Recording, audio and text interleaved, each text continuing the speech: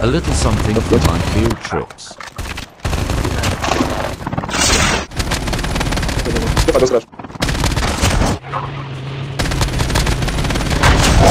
Yani diyorsun bir problem. Merhaba arkadaşlar.